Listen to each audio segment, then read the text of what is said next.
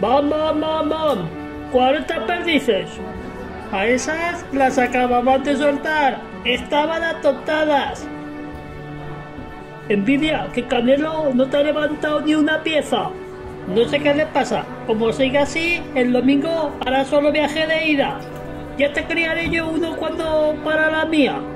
Y cazaré 40 perdices tan grandes como esa ¡Viva España! ¡Arriba España!